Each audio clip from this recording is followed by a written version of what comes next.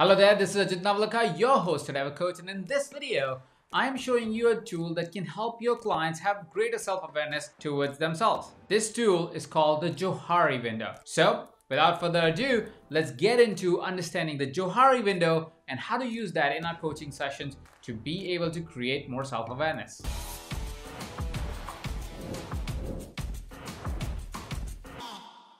The Johari window is a self-awareness, self-realization tool developed by this gentleman and this gentleman. This is a powerful self-realization tool that helps you understand yourself from perspective of your understanding of yourself and others' understanding of yourself. The Johari window is like a window. It has four panes. The size of these four panes change based on your understanding of different areas of your life. Now across these four panes, you will find areas which are known to you and unknown to you, and then area that is known to other people and unknown to other people. The reason why we use understanding of other people and not understanding of other people about ourselves is because it helps us realize more about ourselves. It helps us discover more about ourselves. Now let's take the first square, the first pane of the window.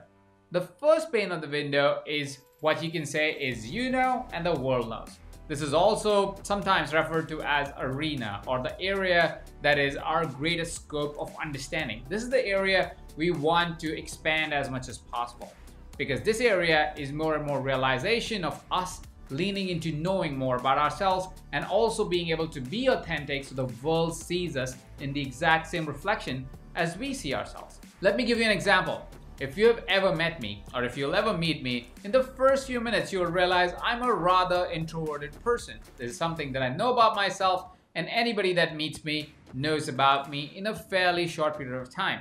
If they would not realize it automatically, I would make it a point that I share it with them that I'm an introvert and it takes me a little while to getting warm up to the idea of a certain type of conversation. This is something that is a very congruent understanding of me knowing myself and the world knowing about me. This is the window, which is what we call the arena. This is I know and you know. All of us know and hence the greatest amount of awareness lies in this window. The second window is called the facade window. This is the window where I know this about myself, but you probably don't. This is the window that really establishes things that we are kind of hiding and not sharing, and because of that, making us less and less authentic. Our increased comfort of letting people know more and more about us from this facade window out into the world so they see us exactly as who we are increases our awareness and also makes us a lot more authentic than we previously were. This is a slow ongoing process. You already know certain things about you that you haven't expressed so openly and comfortably outside in the world. Now, without sharing some deep dark secret, let me give you a funny example of that. Now, I know, which you may not know, is that I really, really love cooking. Like, I love cooking. I love to chop vegetables. I love to cook them. I like to cook different cuisines around them. I really enjoy the process of cooking. Now that is something that you may not know, but I definitely know. I'm kind of cheating here a little bit because most of my friends do know that I love cooking. But the point really that I'm trying to make is there are areas about our lives that we have openly shared, have communicated, have gotten comfortable with, and there are areas of our lives that we haven't. And those are the unknowns for the people outside of you. This is the facade. The third window on the top right corner is the window where you don't know that about yourself, but the world knows this about you. This is something that came out as a hard realization and usually does come out as a hard realization because we are so oblivious to it that we can't see it. For example, a few years ago, I was somebody who would say certain mean things because I thought it was funny. I would land them as a joke, I would say things which may be hurtful to certain individuals, but because in my mind they were just funny, I would say it and then crack out laughing. What I was told eventually by my now wife and then coach Neeta was some of those times, those things were very, very hurtful. She brought it to my awareness that I should go out and ask these people that I'm cracking these jokes on if they were hurtful. And indeed, when I did reach out and ask those questions, to those friends, I realized how hurtful I had been. Now, this was unintentional. I didn't know I was doing it. But as I was able to go out and ask these questions, as it was brought to my awareness from somebody on the outside, I then became a better person. I became more conscious and aware of what I was saying and how it landed for people. It is very important for us to understand how the world sees us so we can correct those nuances that may be hurtful to other people. Now, lastly, is the last window, which is I don't know and you don't know. This is the window where there's mostly the unknown parts of life that we haven't yet discovered, questions that we may not have thought about, challenges that we didn't know how we will respond to have ever happened. These are the things that will stay hidden until a situation arrives to answer this question.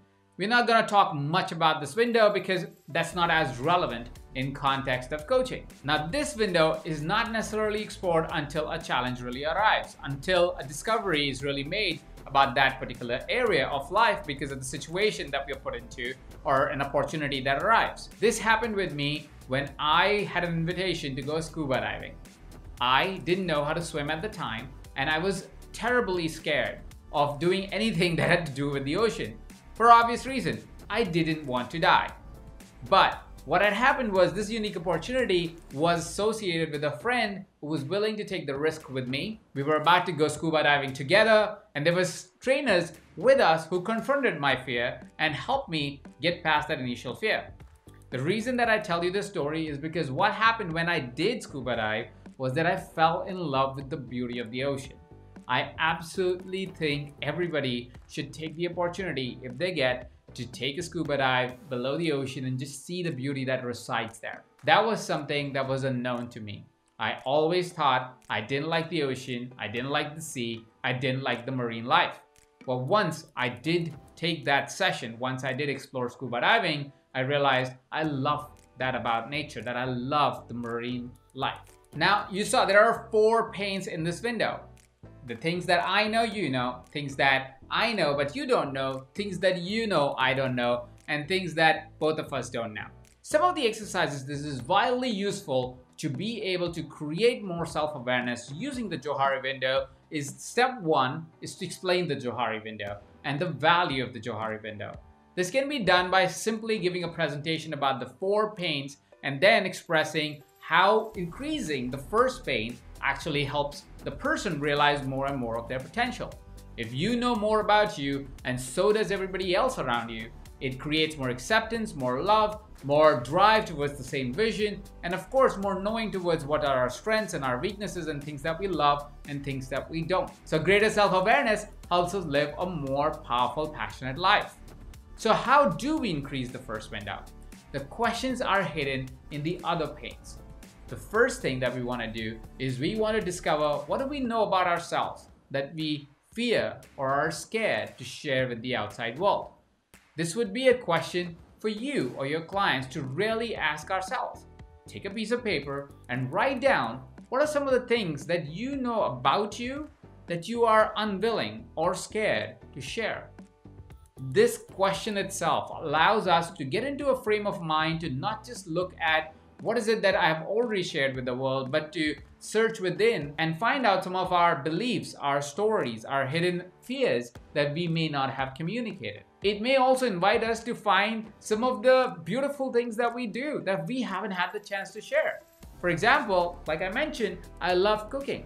And for the longest time, people didn't know that was my personal passion and I loved doing it until I married a person that loves hosting and we got to host so many people and had the opportunity of sharing my cooking with so many of our friends, which have also come to fall in love with it. But for me to discover that, I had to ask myself the difficult and the easy questions. So the question that you want to ask yourself is what are the events that you are fearful or uncomfortable sharing? What are some of the strengths that you are fearful or uncomfortable sharing? What are some of the weaknesses in your life or, or stories around or beliefs around certain things in your life that you're uncomfortable sharing? And then once you identify those discomforts and those fears, write down why do you feel fear and discomfort around it? Is there a reason or a perception or an understanding of the world that you have that has limited you to be able to express yourself fully and not contain certain areas of your life? This will enable you to at least have the awareness towards what is it that you're hiding from the world. Now it will be up to you if you are willing to share with the world. The second area that we'll work on is where the world knows, but you don't know. This is a critical exercise. I really advise that you do this. One of the key things that you can do to discover what the world knows about you but you don't is to create a simple letter, a five line email, which simply requests people that are close to you to answer a specific question.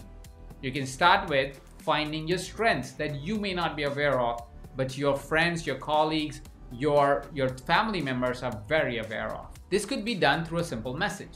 The message may read something like, Hi there, I was doing a quick research on understanding myself better. It would be greatly helpful to me if you could help me identify if there was something that you think clearly is outstanding about me. Something that you think I have utilized around you, something that you feel is a great strength of mine. It would mean the world to me if you could write one to three key qualities that you think I have that I may not be aware of myself. Thank you so much for writing in. This simple email will get you most of the people responding with some of the strengths that you may be aware of, but you will find strengths that you were not aware of. For example, I thought my unique strength was my ability to market things. What I found when I sent this message to a lot of my colleagues is that I realized they saw my greatest strength is my ability to lead. My ability to have a conversation that was beyond the scope of the dialogue that anybody else was having. They thought I was visionary and leadership oriented. This was a unique perspective to me about myself. I couldn't see it that I actually was able to do these things. For that matter, what I found with this email, in a work setting, marketing was my third best quality, not my first quality, which was very interesting for me to discover. I also wanted to know my strengths, but I also wanted to know some things that I might be doing that are hurtful or not right, or something that I am unconscious of which is why I created safe space with some of my colleagues that I really, really trusted, sat down with them and asked them to give me a very open and honest feedback. I asked them very specifically to forget about all my strengths and only point to my weaknesses. I shared that this exercise would help me really become a better human being and this was important to me. These were really uncomfortable conversations. It really was painful to hear certain things that I was doing but at the same point of time, because of the generosity of the people that I was sitting with, I became a better human being. It is very important for us to go out and reach out in the world and ask this question. Ask people if we have hurt them, consciously or unconsciously. Ask them if there are certain things that they would love for us to tone down a little, not because of any other reason, but because it's not the truest reflection of us. Ask them to be able to give us an honest and open feedback and remember to not take it personally. We are all on an ongoing journey to become better human beings, and this could be one of the greatest exercises that we can do to become a better individual. Now, you can do this exercise for yourself, and you can suggest this exercise to your clients when they go out in the world and ask these hard but important questions to their peers, their family members, their loved ones. They will find themselves to become more and more aware of how they're showing up in the world and how they can better show up in the world in more congruence with who they truly are. Now let's talk about that last pane, unknown to you and unknown to me. You don't know and I don't know. This is where unique experiences and unique situations come in handy. My mom always said life was like a box of chocolates. You never know what you're going to get. Life is a box of chocolates, and you don't know what chocolate's going to be next. What you need to be open to is to be open to that surprise. And because you're open to the surprise, you will have a chance to discover more of you. It is important for us to schedule and plan for experiences we have never had before, things we have never done before, because when we do, we will find more of ourselves. There was a point in life where I decided I don't want to have a bucket list. The reason why was not because bucket lists are not important, but because I said if something makes to my bucket list, I must schedule it. I scheduled each of the experiences that I wanted in life and went on to experience them. Because of that, I found that I love marine life.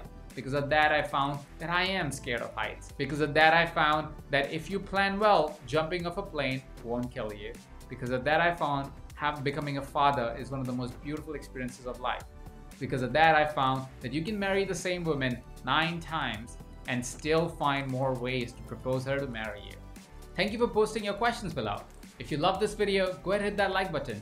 If there's a friend of yours, a colleague of yours that can use this information, this knowledge, and can use that in their own practice or in their life, go ahead and share this video with them. If you haven't yet subscribed, go ahead and hit that red subscribe button.